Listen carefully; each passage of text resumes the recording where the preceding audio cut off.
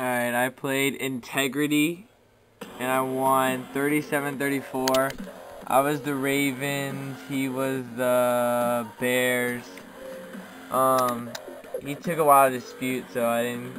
I I played him two hours ago. because you can see, the match was set for 7:15 against him. Disputed.